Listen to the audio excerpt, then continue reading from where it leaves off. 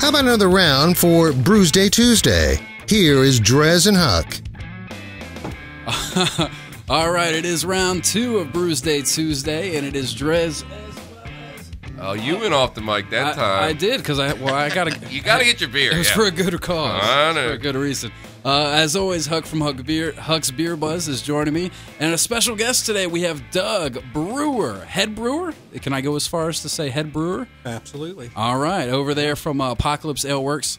Uh, happy to have them in for Virginia Craft Beer Month. We're trying to highlight Virginia craft beer this month, as it is uh, Virginia Craft Beer Month. You know, That's a good Drink, reason. drinking local, man. And if It's- it is Virginia craft beer, and month, what's fantastic, I mean, we everybody loves a good craft beer, and what's awesome is that Virginia has no shortage of that.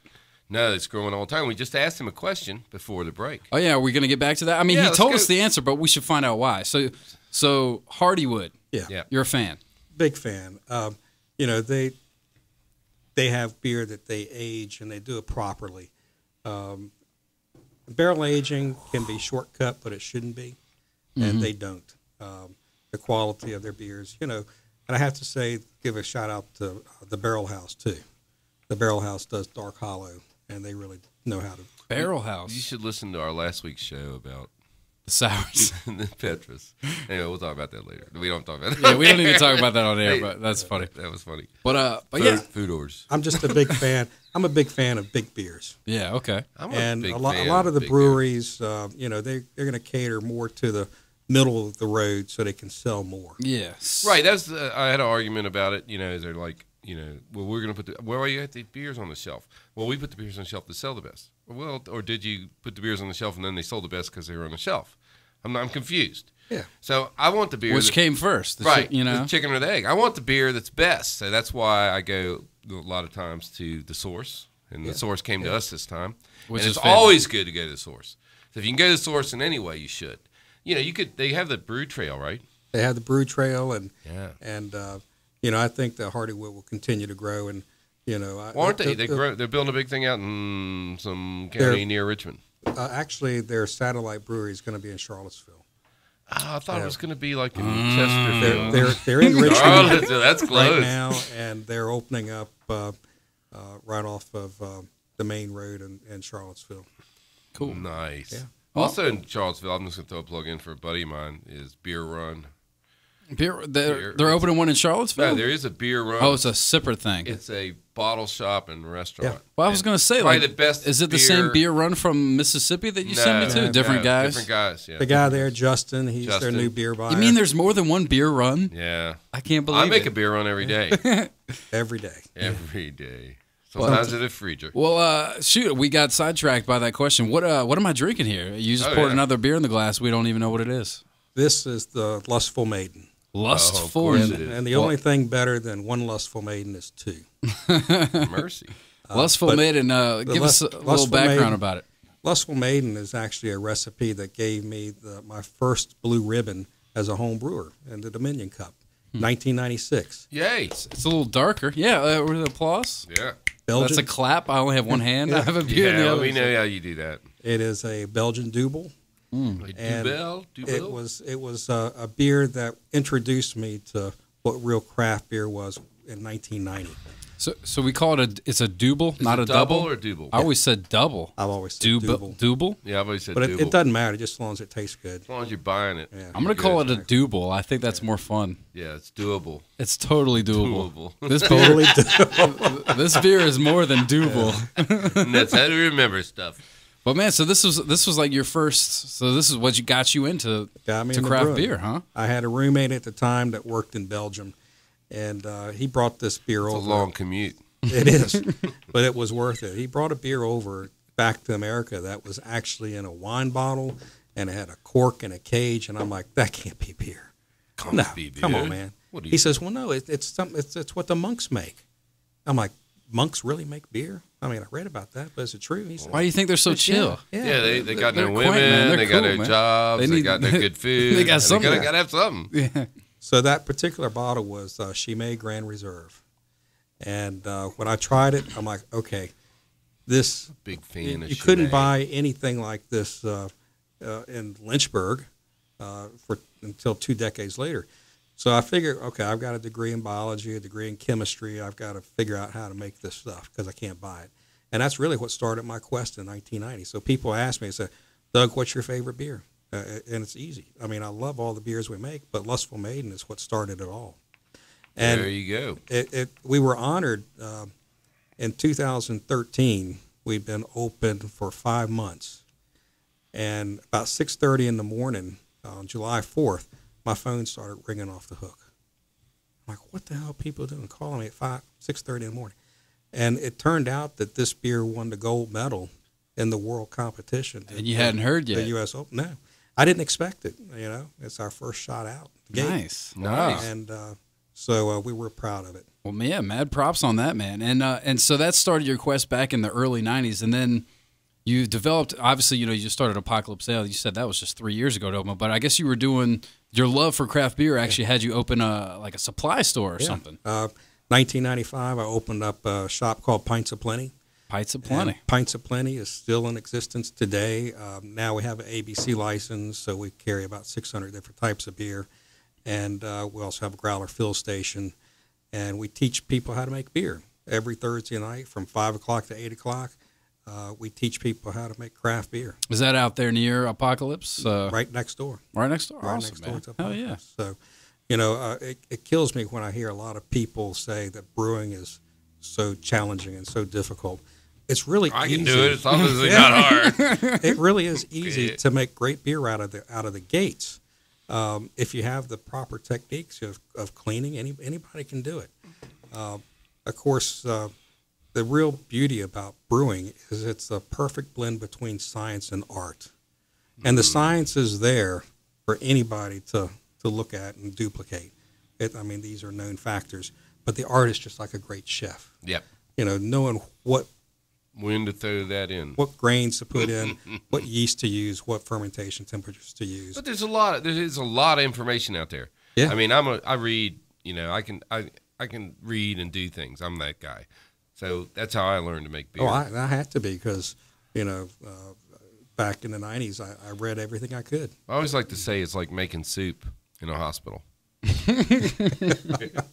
Well, un, unlike my customers today that make great beer off the first first round, I made a lot of bad beer. you know, I mean, it- I guess that's and that's just how it is, man. You got to use it. So, any of you out there that are thinking about brewing your own, or maybe you're already brewing your own and it's not going so well, it's really it's a try, try again sort of a thing, right? I mean, obviously, un- if, unless you have somebody to guide you through it to begin with. I mean, even if you do, there's still room for improvement. Always room for Yeah. improvement. From, and any professional that tells you that it's not room for improvement, you know, I'd worry about them. Oh, absolutely. There's always room for yeah, improvement. and, and and experimentation. I mean, even on top of that. Oh, yeah. You know, you, even when I make a good beer, I've you know I'm not made anywhere near the number of beers you've made, but I've made 50 beers, which for a home brewer is not bad. That's really good. Yeah. You know, when you have an actual job and you know family. so uh, you know, but I've made some beers, you know, and then I'll tweak them, and sometimes it goes well, sometimes not so much. I once made a large batch of some beer that I thought was gonna be really, really good, and I took it to a party of drunk people, and still ended up pouring it out. oh, mm. Yeah. man. That's bad when you get rejected by drunk people. Well, I was I rejected it already. That's why I gave it to the drunk people. I normally don't share my beer a lot. Yeah, that happens. I keep it close. It happens. I make it for me. So, uh, so when it comes to Apocalypse, uh, obviously it's Virginia Craft Beer Month, so we want to highlight you, man. You got some great beers, and I know there's plenty more than just the two that we've had here. Um, whereabouts in the NRV can we find that? Uh, you can find these things. We're growing in this area, uh, but you can expect places like the Cellar, Sharky's, Mellow Mushroom, great customer of ours in Blacksburg. Uh, you know, Tap House. Uh, Patrick at the Tap House He's is, a good going boy. to start. He is really So, good guy. are all these in bottles as well? We have six of our beers in bottles, and they are seasonal. And then we have our two flagships uh, that are in cans, and that's the Golden Censer and the Red Apocalypse, which is the base beer of the, the Grapefruit Apocalypse. What are the what are the six bottles? Because I didn't even realize y'all. Were, I always see the cans, but I never didn't even realize y'all were Yeah. in bottles. What do you got bottled? uh, Lustful Maiden. Uh, we do the, That's what we're sipping now. By the way, Cheers. Delicious. That was The, not a. That was. the winter winter cheers in my microphone over here. That's a new thing. We're gonna start doing that. the winter snack, uh, which is our uh, holiday uh, stout, uh, the Sixth Seal chocolate stout. uh, which we were honored to get the silver medal at the U.S. Open last week on that. And we also have the Heavy Red Horseman. So is this religious? It is. Okay. Absolutely. I mean, throwing it's, that out it's there. religious to me. Yeah. Well, no, I mean the whole apocalypse thing. You went to you, got- went to uh, Got a lot of that. which book of the Acts? The Re- Revelation. Revelation. Went to Yes. Revelations, and you got the Yeah. seven seals. No, okay. and, and actually, I'm the on it. logo, the logo that I have, uh, everything on this logo means something. The apocalypse logo. Yeah, and you can look at the exact details of what it means, or I can tell you guys here in the next 10 minutes. But uh, the endofbadbeer.com is, is the, The end website. of- Endofbadbeer.com. that is I like the that. I like it. That's the good. That's The the, kind of apocalypse. apocalypse that we like, right? Yeah. That's uh, that's what it's Satan's that's beer. Yeah, cool. Bad beer. We need good stuff. And there was a a, new there, beer. I had a question ready, and uh, Sorry, man. I'm just all over it. I'm session beering over here, man. yeah, you are here. Obsession. Oh, speaking of which, I know I had one of your beers a weekend or two ago. Uh, my buddy had a growler full of it. I think it was your ras- sinful raspberry, raspberry sinful Ras- blonde. raspberry sinful blonde. uh, that was pretty damn good. You know, Uh, it, it, it is something that Huck may not appreciate because it's only five percent. Oh, but it, it is a uh, it's a great beer for this time of year. Summertime, Light, like Sometimes refreshing, I need to fruity. hydrate. Yeah, hydrate. And- you know, right next to Gatorade. and to, to quote I like quote it better than either. to quote my friend at the party, he said, "This this one right here, it's a panty dropper." I knew you were going to Yeah, say it that, was, it was it's it's knew you were definitely it's a that. beer that all females will love. Even if, if you don't like beer, you'll drink this beer. You'll be like, "Oh, oh, this is so good." Well, look, I, when Let's talk about that fr- that juice box. You people, put that in yeah, the juice people box. say, you know, I don't like beer. I'm like, I can find a beer you like. Oh, without a doubt, Guaranteed. And, this is one of them. So definitely keep an. I uh, am gonna put that on the keep list. of keep an eye out for that. Like, Yeah, it's it's one that uh, I think everybody would like. It's just it's all around. It's a light. It's fruity. It's perfect for this time of year, like you said.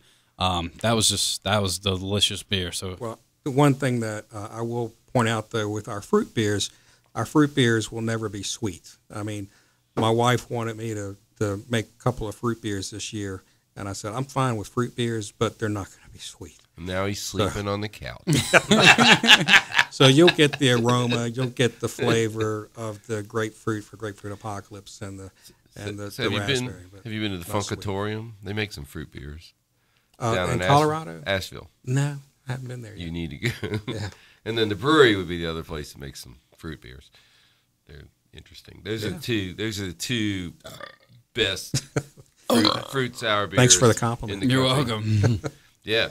Delicious. All right. We. Sp- I would say, speaking of which, man, Time to I guess untap. I'll take the lead on this one, man. All right, brother. Uh, so this is the uh, Apocalypse Ale Works Lustful Maiden. Very different uh, lacing wise. This is, in fact, the quite quite the opposite, quite the flip flop. Not much at all, but it's okay. Uh, it still tastes very good. It's got that dark color, a very very nice aroma, I would say for sure. And hang on before I give my final rating. We're hanging. We're hanging. We're all hanging here. I'm looking. It's like copper colored. Yeah, it is got that Very nice, nice, color. dark copper. You know, I'm. Uh, this is the Belgian du- Double, which frankly I thought I was gonna like more than the the grateful or the grapefruit, just because. Excuse me. I love. I usually like Belgian beers. It's a little different than I thought it was gonna be. Still very good. Still very drinkable. What's the ABV on this? Seven point five, Still a good session. Mm-hmm. Right at there. right at that edge. Right you in know, there. you know, like I said, I, I I still really like it. I don't know if I like it quite as good as the grapefruit, so I'm gonna go ahead and give this a 4.25. No, what? actually, it's probably just about as good. No, no, no. It's- I'll give no, it. A, no, no. Stick, stick with your guns. I'll go with four point. All right, you're right. I should Stick- stick, stick with your 4.25. But I will say this: your raspberry sinful blonde, sinful blonde raspberry, whichever whichever order you put those words in, that beer. Um, I can't remember off the top of my head what rating I gave it on Tapped, but it must have been a five. So I, I'm like. I'm like Huck, who will give you a five right here and there. I have given you a five, I'm sure, and that's not even just because you were in the studio. That was because that was a damn good beer, and it was what needed to be drank at the time. So either way, I mean, above a four is pretty good in my book. Just to give you a, a basis with my on tap ratings. I think you're. Huck, I think you're double dipping here. I Am I'm just gonna go. How's there. that? I just well, you know, you're like rating two beers at once, but that's okay. I'm It's just giving him a plug. Well, because he was kind of, I, I didn't want to put this on air, You've but been known to give me a hard time. I'm just returning the favor. well, he, I feel like I need to untap it because he was kind enough to bring me a growler of it. ah, I guess- see, did those, you- so did there's you see secret the- beer. did you see secret beer. I just didn't want to share it with you. I understand. I understand. I got a lady friend that wants to try it. So There I you gotta go. I You know, well. I'll come along and we'll have like a three date. You're not invited. No, I'm not. I'm never invited. I never get invited. Is she aware it's a panty dropper? Yeah. I think Is that a proven fact? She's going to find out. I think it'll be. I'll let you know. I hope she's not listening.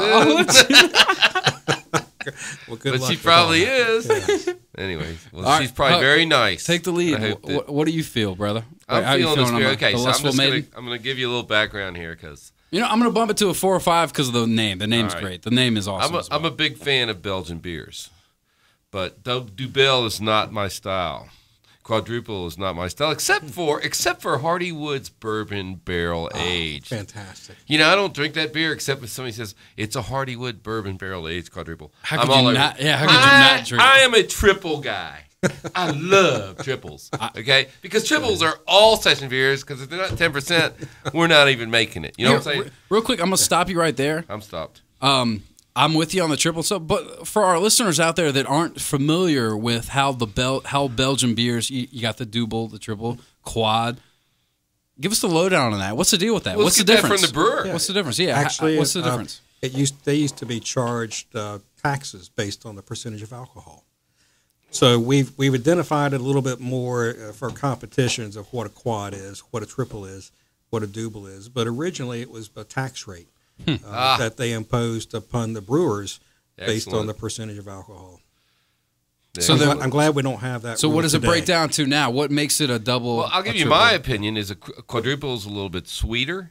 It's usually higher, Higher in alcohol, ABV, around eleven percent. right? And then your your triple is usually more in the you know it's kind of I don't want to say pale ale, but it's gonna kind of be- like a A high a high alcohol golden drier ale. beer. Yeah, Uh, typically, they'll uh, a lot of triples will use coriander right. and uh, orange peel in them. Yeah. And then Uh, your spices, your Dubbels are darker and, more malty, A little chalk, more chocolatey. right? Yeah. What about the quads? They're sweet. Yeah, the, the, the quads are, uh, and quads do very well bottle conditioned and aged. Oh, uh, yeah. yeah, they just What- get better and better. But the, the famous, the the one the the whole the the, uh, the light up to is the uh, Westvleteren. Uh, Westvleteren is a great, Cream of the crop. yeah, Oh, and yeah. also the, had the it. Rochefort Ten. Yeah, the roaster Ten. What ABV are So quads just as a looking at? quick kick, and I probably shouldn't even say this, but you know the cellar has half price uh, inter- international beers on Sunday evenings, which I'm known to be there at 6 p.m. when that starts in the downstairs bar. If you want to join Coming back, Michael. half price tips. yeah, Anyway, back to my rating. But thank you for that. yeah, Interesting. pleasure. Of course, the tax man always gets involved in this. Unfortunately, Damn the tax a man. lot of history comes from the tax. So anyway, I'm going to give you beer another five. four two five. Oh, low balling. Well, because He just kicked you in the balls. I did not. You can't say balls on the radio. I just hey, did. I, am just glad it's not a scale of ten. I- I'm, I'm good, man. I'm just saying, you know, I'm not a big fan of a Duval, and this is good, but like you say, we're not like a little, you know, brewer, we're like a little lace in there. Yeah. You, you work on that? You know, uh, That's it- just it- mean. it- I'm just being mean now. Don't even answer that. I'm my, just being mean. my bad pour in the growler. okay. yeah, I'm gonna blame the growler on that. Yeah, or maybe you didn't wash it out good. No, I'm just kidding. it tastes great. Tastes great, less filling. no, it's pretty filling actually. It's a real filling. it is. But anyway, I hope I don't. Okay, I'm gonna do like Drez. I'm gonna give it a four or five now. No, no, no. no. I did. I just did. I won't tell you what I originally gave you because I've had it before. Thanks, guys. so I'm being good to you. Eddie, Trust no- me. no, man. You can go look if It- you're on Untappd. It's an honor. No, It's an honor. thank for you, you, to Doug, be for coming in, man. We really appreciate it. You uh, know, I'm just gonna throw this out before you go away. real quick. Okay, Doug's. I've only never met a Doug I didn't like. That's true. Doug, saying, it's like a don't matter. Rudy. Have you ever met a Ru- No, like, Rudy's. Ex- Rudy? Well, there's the politicians. Other than that, hey, yeah. get out of here. Get out of here. But, But, not you're uh, right. Doug's. Doug's are good. Doug's solid guy, man. I really do appreciate you coming in and sharing your beer with us for Virginia Craft Beer Month. And of course, if you want to uh, want to go visit Apocalypse Ale Works, Forest, Virginia, want to throw out the address real quick? Twelve fifty seven Plugs. Burnbridge Road. Plugs galore. Yeah, we have um, a beer garden that uh, we seat about three hundred people in the backyard, and and uh, we it's just a fun place to be. We're dog friendly. We're kid friendly. uh, as long as the kids are as friendly as the dogs. You know, all in good shape. Uh, but the other thing I'll say is go Hokies. All right, there. Now we get. Now They're we're in the right neighborhood for that. Apocalypse Ale Works. Uh, find them on Facebook and all that stuff. And uh, uh, endofbadbeer.com. Was that what it was? End of That's it. bad beer. of endofbadbeer.com. Well, thanks again, Doug, for coming in. And Huck, as always, I appreciate you joining me on Tuesdays. There's another one Glad for the to be books. We'll, uh, we'll take a quick break. We'll get back to the tunes right here on 105.3 The Bear. Stick around.